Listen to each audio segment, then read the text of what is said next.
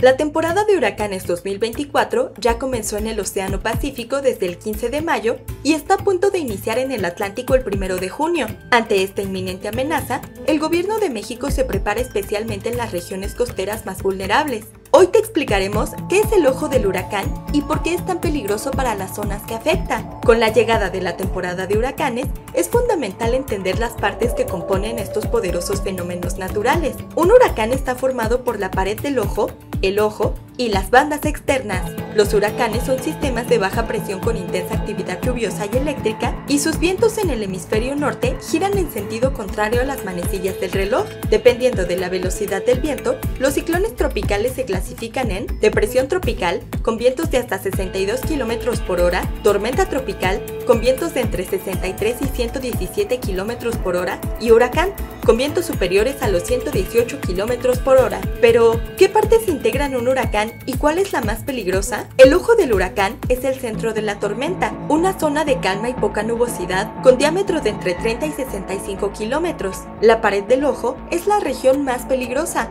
donde se encuentran las nubes más densas y los vientos más intensos. Las bandas externas, o paredes del huracán, tienen forma de espiral y giran hacia afuera causando tornados e inundaciones. ¿Por qué es peligroso el ojo del huracán?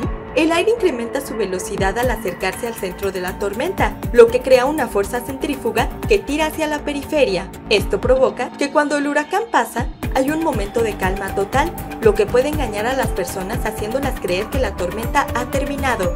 En realidad, solo ha pasado la mitad del huracán y los vientos peligrosos de la pared volverán desde la dirección opuesta. Es crucial que si los vientos y las lluvias cesan, las personas no se confíen. Probablemente se trata del ojo del huracán y lo peor está por venir. Como la temporada de huracanes 2024 promete ser intensa, es crucial mantenerse informado y seguir las recomendaciones de las autoridades para protegerse. ¿Qué opinas de esto? ¿Conocías esta información? ¿Te fue de utilidad? Déjanos tus comentarios.